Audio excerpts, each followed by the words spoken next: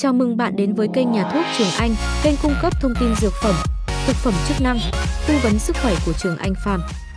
Nội dung trong video này sẽ tìm hiểu về sản phẩm Zawin.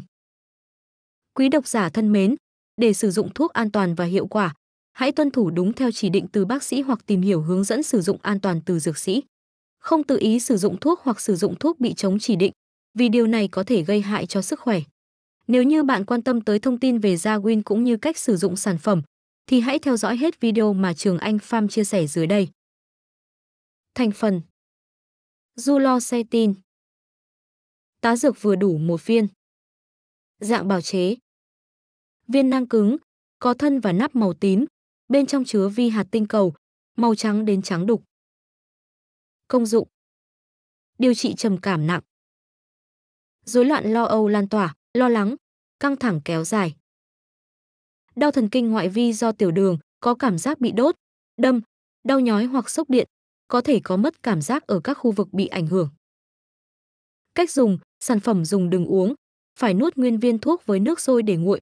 Thuốc có thể uống cùng hoặc không cùng với thức ăn, nên uống vào một thời điểm nhất định trong ngày để nhớ việc uống.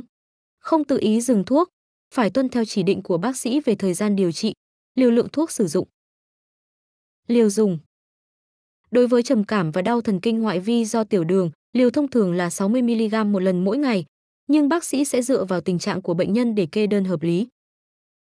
Đối với rối loạn lo âu lan tỏa, bác sĩ sẽ dựa vào tình trạng của bệnh nhân để kê đơn hợp lý. Liều khởi đầu thông thường là 30mg một lần mỗi ngày, sau đó hầu hết sẽ tăng liều lên đến 60mg một lần mỗi ngày. Liều có thể điều chỉnh lên tới 120mg một ngày dựa trên mức đáp ứng với thuốc.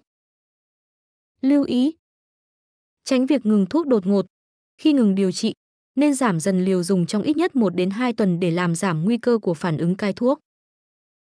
Nếu các phản ứng nghiêm trọng xảy ra sau giảm liều hoặc sau khi ngưng điều trị, nên xem xét việc dùng lại liều cũ, sau đó có thể tiếp tục giảm liều nhưng với tốc độ chậm hơn. Chống chỉ định Không dùng cho bệnh nhân quá mẫn cảm với bất kỳ thành phần nào của thuốc. Bệnh nhân bị bệnh gan có nguy cơ suy gan. Bệnh nhân bị suy thận nặng. Không điều trị khởi đầu với thuốc này ở những bệnh nhân tăng huyết áp không kiểm soát hoặc bệnh nhân bị bệnh tim. Thông báo với bác sĩ nếu bạn có thai, chuẩn bị mang thai hoặc đang cho con bú khi được kê đơn thuốc này, bác sĩ sẽ cân nhắc lại lợi ích và nguy cơ cho việc sử dụng thuốc. Khuyên cáo ảnh hưởng của thuốc đối với người lái xe và vận hành máy móc. Thuốc có thể gây buồn ngủ, chóng mặt, nên người lái xe và vận hành máy móc cần thận trọng khi dùng thuốc. Tốt nhất không nên điều khiển xe và máy móc khi đang dùng thuốc. Tác dụng phụ. Nhức đầu, cảm giác buồn ngủ.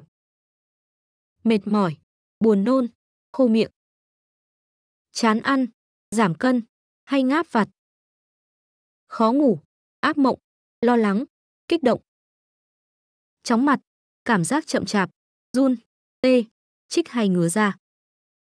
Mắt nhìn mờ, ù tai, có âm thanh trong tai dù không có âm thanh từ bên ngoài.